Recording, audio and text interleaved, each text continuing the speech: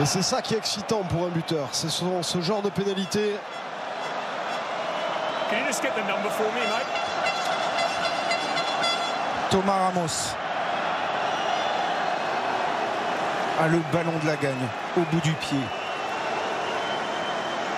pour entrer dans la légende des très grands. France-Angleterre. C'est parti pour le buteur du Stade Toulousain. Ah. C'est bien parti, Thomas Ramos